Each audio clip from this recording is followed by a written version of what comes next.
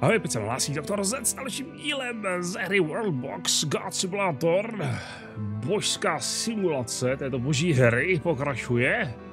Máme tady nějaká úmrtí. Král Ok Oko. A, zde, byl zabit Tokarem. Haha. Musí vlčáci musí tady převládnout. Musí vyhrát, zvítězit. To jinak nejde. Musí, musí dobít tuhle zbouřeneckou bandu zelených kůží. Ale nevím, zda se jim to podaří, ano. To teda netuším, možná, možná padnou, možná padnou, je to možný, ale uvidíme. Každopádně, co se, co se děje jinde ve světě. Tady říše Uho uh, se dělí o um, malý ostrov uh, s Ishifop královstvím a hlas Elorinu nadále zůstává u sebe. Já bych chtěl, tyjo, je tady nějaký přehled z válek? Tady tyhle věci ještě ve vývoji, ok, dobře, to je super. Ale vidíme někde snadný přehled vztahy se zahraničíma. To, to bude asi ono, ne? Uh, počkej, jak to, že to najednou už není zele? Jo, to, je takový, to jsou jejich vztahy, aha. Jo, takhle, jo, jo, jo, už chápu, okay. Klikneme je a vidíme vztahy ostatních. Takže Pitlíkov válčí s tím. Tíhle válčí, vlčáci válčí téměř se všema, to je super. Uh, tady jsou ty původní vesnice teda. Mm, dokážu zobrazit jména království? Tady se mi, ne, tady se mi prostě zobrazují vesnice, hm, to je škoda. A, a říše Uho dobývá, pozor, počkej, tak to si nesmíme nechat ujít. Říše Uho dobývá tady, uh, jak, se, jak se jmenuje to království, Ishifop a vesnici Etal a zase opět sjednocuje celou svou říši. Už je to zase jednotná hnědá omáčka. Je krásný. Takže to je paráda. Diplomatické vztahy teda jak vypadají. Růžovka s nikým ve válce není. Jižní vesnice jsou ve válce s vlčáky. Bažina ve válce s vlčáky. Džungle. Vládci džungle jsou v pohodě. Říše Uho v pohodě. Hlas Eloridu s vlčáky ve válce. Tihle jsou ve válce. Zvlčáky, pozor, pozor, dopak se nám to tady snaží kolonizovat uh, ostrov duchů, prokletý ostrov. A pekelňáci jsou taky v klidu. Takže války v podstatě jenom tyto. Svlčáky všichni mají. Bažiňáci, Jižní říše a hlas Elorinu a pustají ty nový skřeti. Hmm, zajímavé rozhodně. A kdo se nám to tady snaží? Růžováci se nám snaží osídlit tento, tento nehostinný ostrov plný duchů, No, jsou hlavně tady v tom, na tomhle cípu ty duchové a uh, koukám, že dostávají od uh, hlasu Elorinu další posily, protože uh, oh, oni tam možná huh, to je nějaký stařec, 128 letý. On možná, oni možná elfové vysílají, tak to je na konci pána prstenů, ne? Návrat krále, jak odjíždí, uh, odjíždí elfové a berou sebou Gandalfa a Bilba a Froda, tak uh, to je možná ono. To je, jo, tady odvezli uh, je sem a to, jsme, to je možná něco, co jsme neviděli, tak uh, oni je všechny odvezli, Bilba, Froda a další, na tenhle ostrov, kde je zmasakrovali duchové. Nevím, každopádně možná tohle domov důchodců pro elfy a cha, jako chápete, jo, domov duch, duch, duch, důchodců. uh, OK, tak. Dobře, no, tak nic. Uh, tady máme ostrov, teda, uh, který se ho snaží kolonizovat zase, ale uh, oni jsou schopni zmasakrovat ty duchy, když půjdou postupně. Ale jakmile se vrhnou... Počkej, oni je zmas... OK. Tak duchové zemřeli už. OK. Tak nic, no. Tak nic. OK. A já myslel, že tam duchové budou žít věčně a oni, oni je pozabíjeli, ti elfové. Růžováci si tady teda založili kolonii novou, ale ty hlavní, tu většinu těch duchů za, zabili, uh, zabili uh, z Elorinu, z hlasu Elorinu. Tak pozor, tady probíhá válka, vlčáci se snaží dobít svátky své území, ale nevím úplně, co, co mají za zbraně. Ty vole, legendární luk, divoký luk ochrany, veterán. Zabil 16 lidí. V 39, to je neskutečný. Počkej, a kolik má? Čtyři děti. No, OK. Ty vole, ten je tady kosí. O, a pozor, o, výsadek, hlas Elorinu. A tohle to jsou vlčáci? Lovec hlav, hele, mám tu vlčí hlavu, to je super. Jo, to jsou vlčáci. A hlas Elorinu je ve válce s vlčáky, že jo? Jo, ne s těma druhýma. No, s vlčáky to nevypadá příliš dobře tady teda. Uh, pojďme se podívat na uh, ostatní království, jak jsou na tom. Vypadá to, že Jižní říše je na tom docela dobře, aspoň minimálně co se týče populace, voje, vojska, Eh, a vesnice mají taky eh, oddanost, tady je trošku nízká. Co, co jí snižuje tu oddanost? Vlastnosti, nálada starosty, vzdálenost a vojevůdce. Takže vlastně vojevůdce a starosta, ty se časem mění, mohou zamíchat trošku s tou oddaností taky. Což je, což je samozřejmě logický. Což je logický. A ok, vzdálenost je jasně, to je pevně daná. Hm, hm. hm. Dobrá, jak jsou na tom technologicky? Technologicky na to vypadá, že jsou asi docela dobře. Takový standard asi v dnešní době. Jakou mají tu uh, kulturní úroveň? 20, 20, OK. Já myslím, že máme větší, ne? Říše Uho má víc. Ty měli 21, naposledy jsme se koukali, mají 23. Oh la la, 23, co je tohle to? Sochy, wow. Ty už mají tolik času, že zkoumají sochy. No dobrá, růžováci, plná armáda, všechno. Uh, vesnice Ion, to je ta nová. Oddanost zatím dobrá, jenom ta vzdálenost tomu trošku uh, odebírá, ale ono, počkejte, až přijde starosta a vojevůdce, to, to klesne asi ještě víc, možná, možná to může i stoupnout, že jo, si vezmeme, počkej, schválně, schválně najdeme nějakou vesnici, kde, kde by třeba starosta a vojevůdce uh, přidával. Tady ne, tady odebíraj. Uh, král plus 11, starosta nic, ale vojevůdce ubírá, vojevůdce taky ubírá, jiná kultura, oni jsou z jiné kultury, takže tady bude být trošku problém. Vládci džungle, ty jsou v pohodě, ty mají jednu vesnici, vojáků mají taky tak nějak dost. No a říše Uho, vojáků hodně, vesnici taky, vesnic taky dost, ale mm, tady, tady ty spoury budou probíhat asi pravidelně. To je možná jenom otázka času, kdy, kdy já tady mám zrychlený, kdy uh, pa, pa, pa, pa, kdy říše Uho se zase rozpadne. Kdy tam budou zase nějaký občanský války. No, ty bláho tady založili farmu. Tak, co je tohle, co? Kdo to je? Co z Říše Uho? Tady se normálně střetávají uh, hlas Eloridu, uh, růžováci, Říše Uho. Ty, ty uzavřeli mír? Neuzavřeli, stále, stále, stále spolu válčí. Uh, já přejmenuju tohle, protože to vypadá jako za, zásadní změna, tak tady se budou jmenovat uh, Klan Bosá Noha. Uh, máme všechno velký. Ne, Bosá Noha. Ten klan se jmenuje Bosá Noha. Takže tak. Uh, pa, pa, pa, pa, pa. Dobrá. Takže to by mělo být takhle. Pekelňáci, ty mají obrovské armády, ty až někam vtrhnou, tak to bude sranda. 133 vojáků, jak jsou na tom technologicky. 18, ty jsou trošku zaostalí vůči třeba říši Uho. Co vládci džungly? džungle? 18 eh, taky, ten, ten, to bude ten, ten takový standard asi. Eh, tady máme, počkejte, tady, tady. 23 je nejvíc, asi předpokládám. No nejvíc zaostalí jsou samozřejmě uh, naši, naši, uh, naši skřeti, ty mají 11 uh, a 13. Bakrak, kultura Bakrak a kultura Zogbach. Zogbach, Zag, takže tady, tady, uh, tady se to řeší. A pozor, to jsou pekelňák. Bažiňáci útočej. Útok bažiňáků. Za naši smradlavou bažinu zautočte.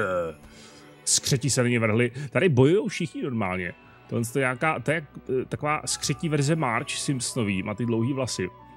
Má meč. Jmenuje se Dzoka. Léčí se, dokáže regenerovat. A jako útočit na vlčáky to je docela těžký, protože oni jsou dost jako mm, ošlehaný bojem, zkušený.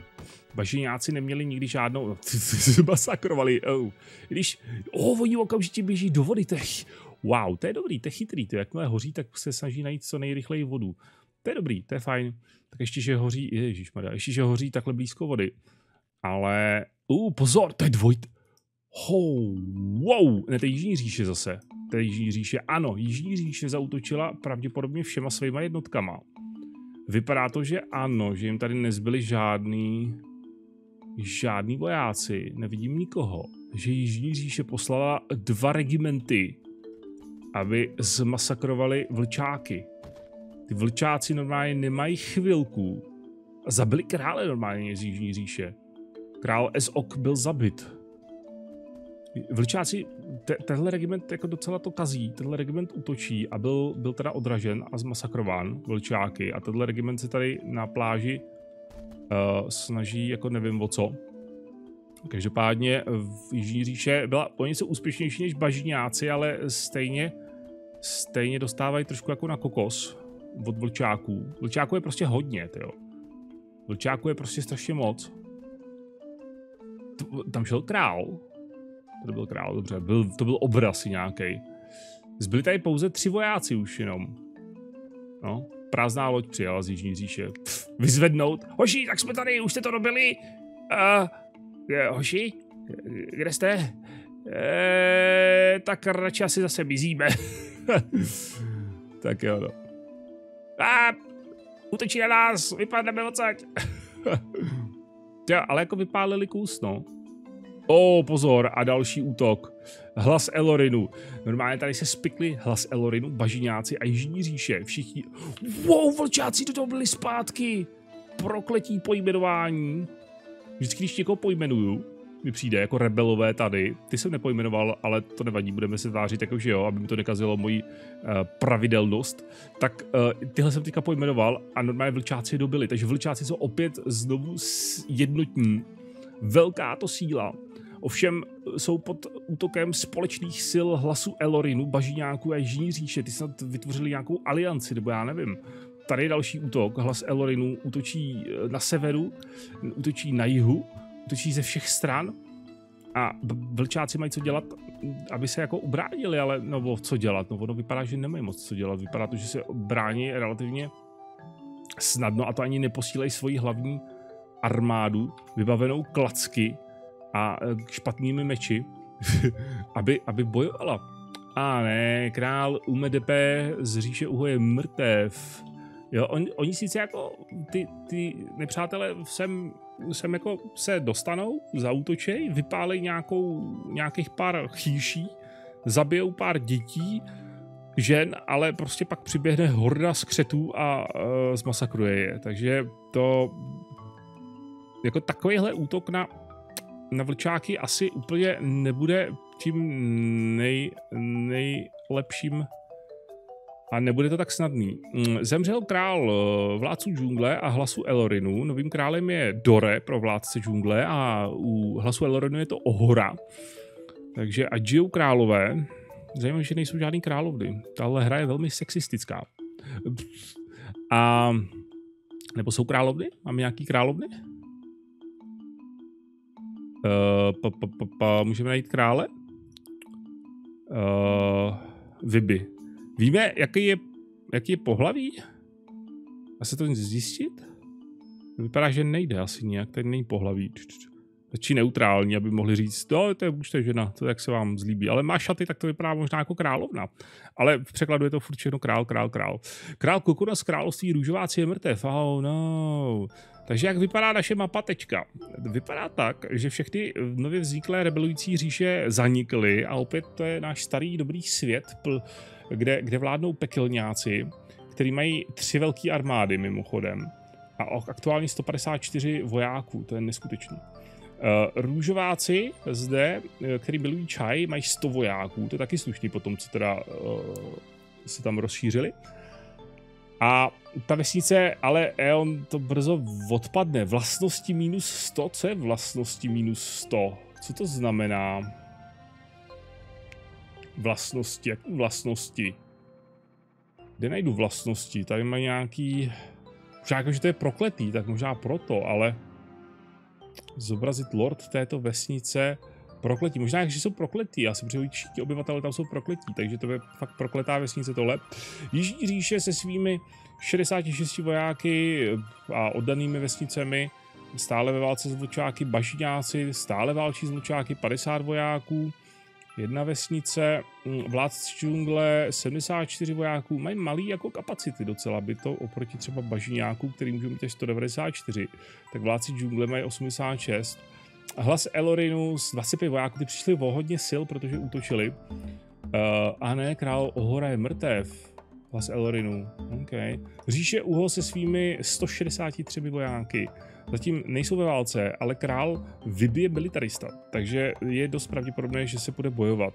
A i tato vesnice, mm, i tato vesnice eh, je, nemá, nemá příliš velkou oddanost, takže je dost možné, že uh, brzy, se, brzy se rozpadne.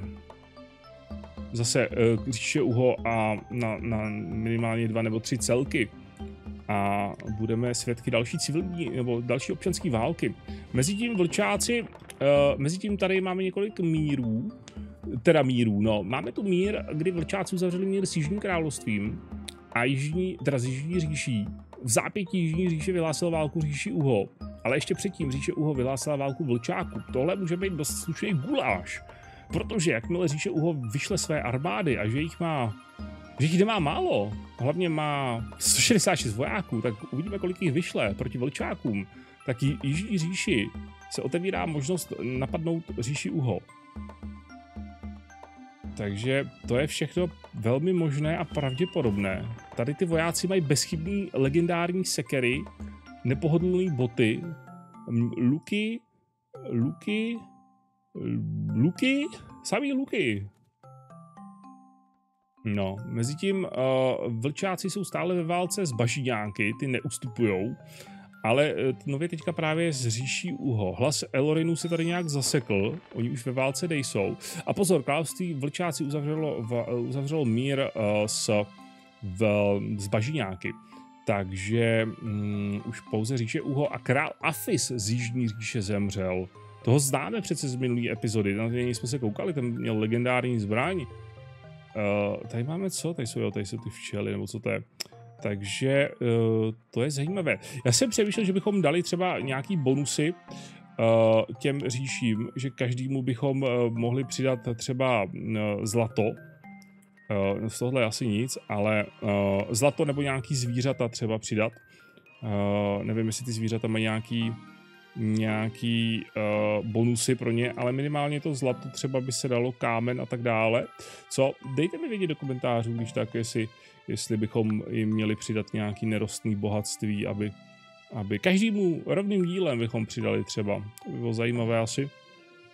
A pozor, bažiňáci vyhlásili válku říše Uho, takže tady, tady se sformovala nejspíš nějaká aliance tajná mezi bažiňáky a Jižní říší a uh, právě chtějí bojovat proti, uh, proti říši Uho, ale tady loď říše Uho. Nikdo tam není teda, pasažéři nula. Jenom obchodní loď. Budeme sledovat, jestli se někam vydává tahle loď vypadá, že by mohla být, ano, 36, 36 uh, pasažérů. To vypadá jako vojenská družina, která přistává tady na východním pobřeží a útočí na vlčáky. Hnedka okamžitě zabili první civilisty, který viděli. Vypálili uh, tady jednu, jednu chýši a snaží se druhou chýši, snaží se dostat dál do vnitrozemí. Útočí na všechno, co je zelené, ale zdá se, že jsou odraženi, ano. Jako vždy, jako vždy, opět uh, bez šance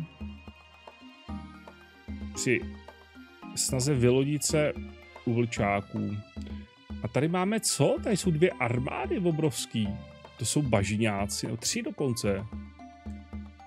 Je to z té Jižní říše. Jižní říše má své armády vlčáků, že by jim poskytovali nějaký azyl pro případný na nějaký jako tajný útok takhle na říši Uho, protože vlčáci nejsou ve válce uh, s Jižní říší. Ty jsou ve válce s růžováky nově teďka mimochodem.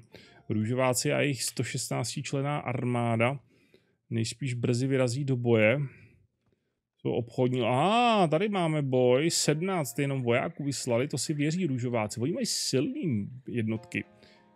Uh, ale mm, to nebude stačit. 17 je málo, to je sebevražedná mise, nevím, co očekávají. Zvlášť, když se vysadí příbo tady, příbo jako pod, pod uh, pod klacky, pod uh, klacky, hele, os, to byl os. Ježíš, se z něho nestane čaroděj, je tlustej a pomalej. No a the růžováci byli zmasakrováni. To, tady, tady absolutně selhala the výzvědná služba růžováků. Pozor, ale oh, neselhala. To byl, to byl, um, to byl klamný výsadek. To byl klamný výsadek, protože tady se vylodila mnohem menší síla než tady. A tady, jsou, tady je družina obrovská, která útočí na na, na, západní, na západní část, to je fakt velká družina, ty jo. A hodně toho tady jako celou tu západní, ten západní cíp už vypálili a postupují dál, aniž by se jim někdo postavil na odpor. Pálí jednu chýši za druhou, Vládci džungle vyhlásili válku vlčákům. Spojené elfí národy, hlas Elorinu ve válce není, ty byli dlouho sami ve válce proti ním, takže nakonec uh, se této elfí invaze neútočí, ale i vládce džungle se pokusí, cítí příležitost, že by z toho mohli něco získat. Pozor, tady na jihu vlčáci přišli o ohromné území. Eh, během, během chvilky oni přišli o polovinu populace. Říše Uho útočí z, ze severovýchodu. Dvě invazní síly tady, dva regimenty vyslali. Tady máme růžováky, tady máme teda tu uh, armádu vlčáků dole na jihu, tam nevím, co dělala. Každopádně myslím, že spojené síly Uho a Růžováku se snaží vyhladit vlčáky a tady já bych řekl, že teďka už by se jim to mohlo i podařit. To je... Vlčáci mají stále 52 vojáků, to není málo. Ale musí koncentrovat své síly a bojovat proti jednomu nepříteli Pozor, pozor, růžováci se stahují. Růžováci se opět naloďují. 47 vojáků, 48, 9. Naloďují se a snaží se dostat dostat asi pryč. To byl pouze uh, výpad To byl pouze eh, výpad proti vlčákům bez snah uh, je zničit. A tady se nám opět vzbouřilo, uh, vzbouřila, uh, vzbouřil bývalý lid Habiů, kteří opravdu neradí žijí pod nadvládou pekelňáků. A to je druhá vzpoura už. Druhá vzpoura Habiů v tomto věku. A založili království Sek, Sun, Sek of Sun, a my jsme, my jsme jedni v nebesích. Uh, no, to budete brzo asi, až pekelňáci pošlou své armády, protože 125 vojáků proti 34, uh, eh, už se to tady mydlí a pekelňáci samozřejmě budou mít navrh zvítězí, vyvraždí zase novou generaci habiů. A jestli, jestli zautočí, tak, uh, tak to bude konec této uh, mm, drzé rebelie. A je, a je, vlčáci založili vesnici, pozor, pozor, pozor. Tohle bude nepříjemné pro vlčáky. Protože jestliže vlčáci založili další vesnici, těch vesnic tady najednou bude vícero a je těžší udržet více vesnic, než eh, dvě třeba pořádný. Jo? Zatím se to daří pouze jižní, jižní, jižní říši. Pekelňáci si mají problém. Říše Uho moc dobře ví, jak to chodí. A vlčáci, to je, tam je nes, boj o, tenhle, o tuhle největší pevninu. Samozřejmě to je lákavá, že jo? Lákavá země pro všechny. A je, velkolepý král Adube, sex, no, tak tohle byla velmi krátká rebelie. To byla velmi krátká rebelie, to by připomíná uh, Čechy uh, v roce, uh, nebo na, na začátku 17. století. To, to nebyl ani zimní král, to, to, to byl tak týdenní král, to možná ani to ne, tyjo, to víkendový král. No, takže to je, to je velmi zajímavá situace. Říše Uho tady má 777 obyvatel. Eh, pojďme se podívat, eh, můžeme se podívat zde na statistiky našeho světa. Vidíme aktuálně, že rok je 216, měsíc 8, populace je 3732, zvířat je 147. Možná bych kromě nějakých těch rud a takhle vytvořili nějaká zvířata, to by nebylo špatný. Uh, počet smrtí 7604, po, přirozená, přirozené smrti 2155. Hmm, smrti hladem 12, snězením 9. A je, máme nějaký kanibaly, pozor. Jiné smrti 5314. Počet stromů, počet domů, zničených domů. Největší vesnice je Jižní vesnice, nejvíc obývaná vesnice je Bažina a počet ostrovů je 20. Běž ty krvalečnej médio, ovce, čau. Uh, tak to je krá... to jde. Tak to je krásný, hezký statistiky. Těma to dne, pro dnešek zakončíme. Já vám tak moc děkuji za pozornost, díky, že jste sledovali tohle video ze hry Worldbox God Simulator. Pokud se vám líbilo, dejte prosím like nebo napište komentář a my se jako vždy uvidíme zase někdy příště.